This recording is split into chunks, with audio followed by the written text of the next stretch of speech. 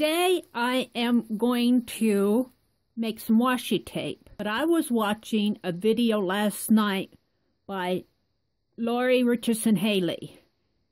And she started out using a magazine and masking tape and doing this technique. And she wound up with some beautiful washi tape that totally inspired me, Laurie. So that's where I'm going with this. You'll want to watch this video. I am so amazed by Laurie. She starts out with and works on a page and she gets to a point where she thinks she's doing horribly. Of course, we don't, but she does, but she presses through it. She keeps working with that page and she comes out with a beautiful page every time. I want to give a shout out to Laurie's channel and if you have not watched her videos before, if you haven't found her, go to the description box below click on the link to her channel or the link to her video and take a look because she does beautiful, beautiful work. I'm going to get started now. What I'm going to do first is I have some white paper. This was is just paper that I got at the office supply store. It came in a big roll and you can see it's still kind of rolled up. I don't care for right now if there are wrinkles in there because I'm going to be painting over that and that will eventually flatten this out. I'm using up my craft paint.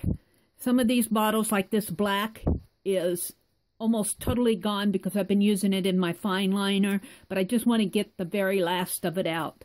The same with the white. I have some other craft paints that I just want to use up. I have two sheets of it, and then what I'm going to experiment with, after my craft paint is dry, that's just going to be a base, I want to experiment with my Inka Golds. I'm going to make some Inka Gold washi tape. Now I may be putting some fine line lines on there, some fine line drawings. I may be stamping on it. I don't know. We'll see how it goes. I'm going to go into fast forward and let's see what happens.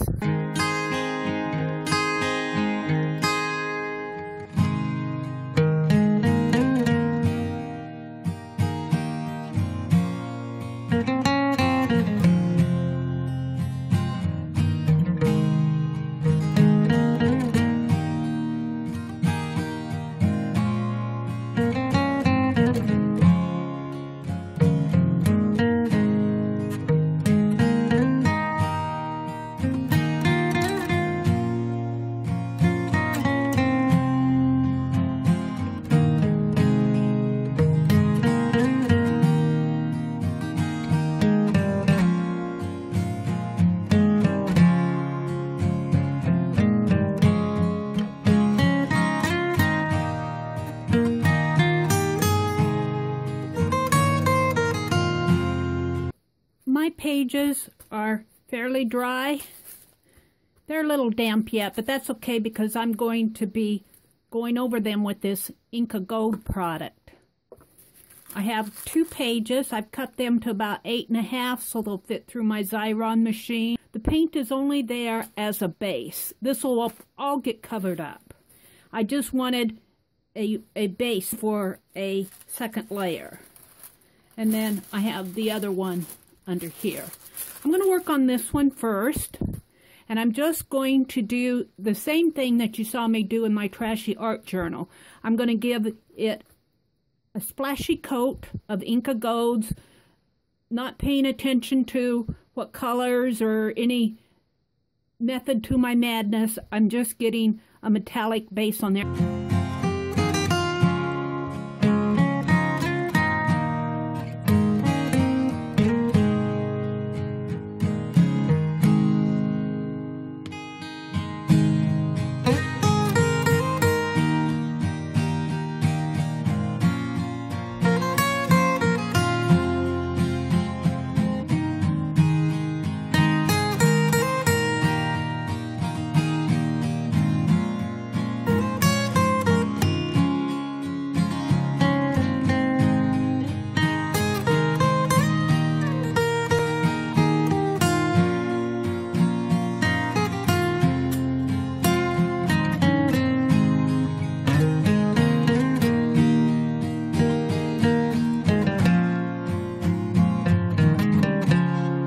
I filled my black fine liner. Now keep in mind that I want to cut this strip, which is very pretty, shiny, and metallic now. I just love this metallic sheen to it. And I'm going to, I want to cut this eventually into one inch or less strips. So whatever I do with my fine liner is going to have to be fairly obvious in a short space.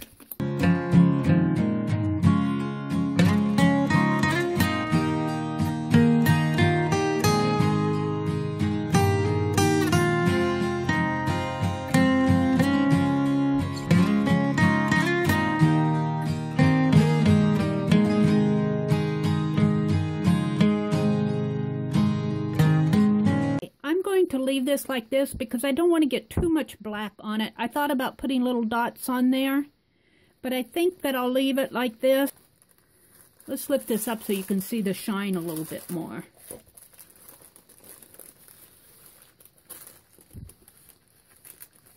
Isn't that pretty?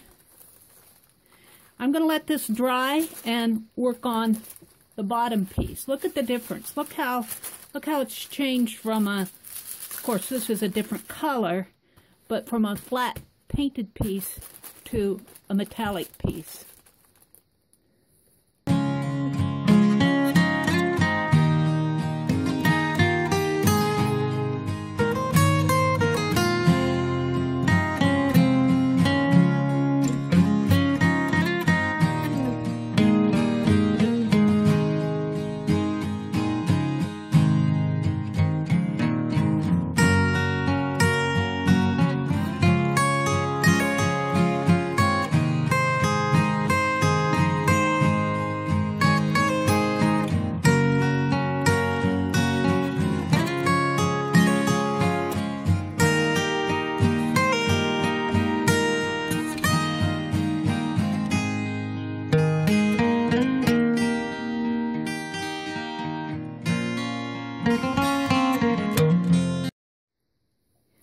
Page is dry.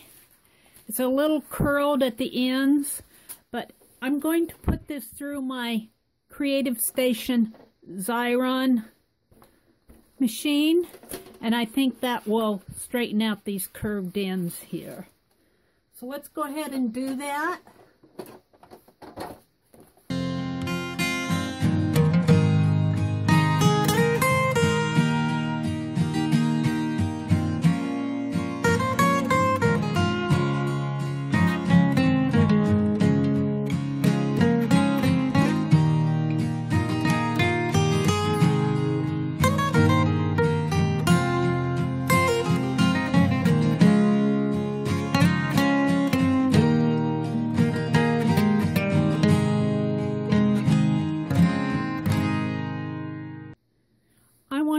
How reactive this is to water after it's dried.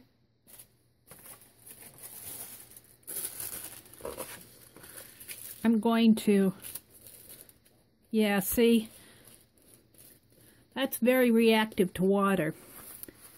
I'm going to take the rest of this and go spray some fixative on it because I don't want it to react like this. Okay, I took all of these into another room and I sprayed them with a fixative. They're not quite as shiny, but they still have a nice shine to them. I'm still happy with them. I'm going to peel the backing off of part of this.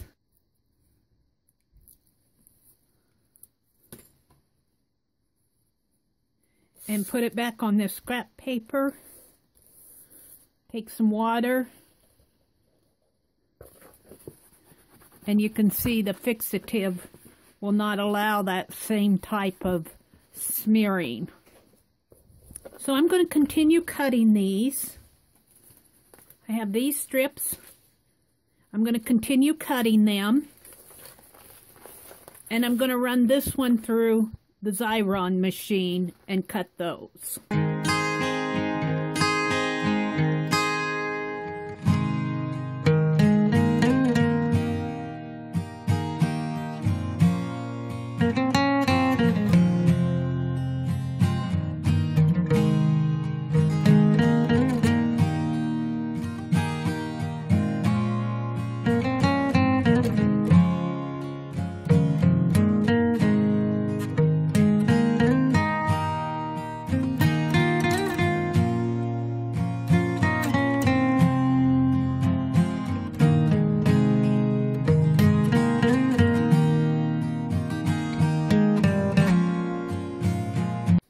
Go.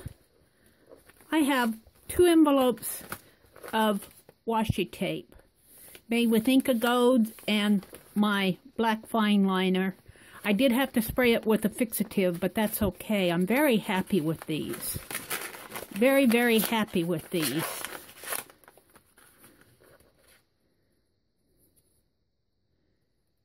I estimate that I have about 20 strips of 18 inches long. So 20 times 18 would be 360 inches times 2 would be 720 inches divided by 36 would be about 20 yards. Just, I'm thinking about 20 yards of washi tape. My own brand, my own kind, made for just what I had in my stash. Now, making washi tape certainly is not a new or novel thing. Mixed media artists do it all the time, but I had fun doing it this afternoon. It was a nice Sunday afternoon project. I hope you've enjoyed watching this, and I will see you on the next page.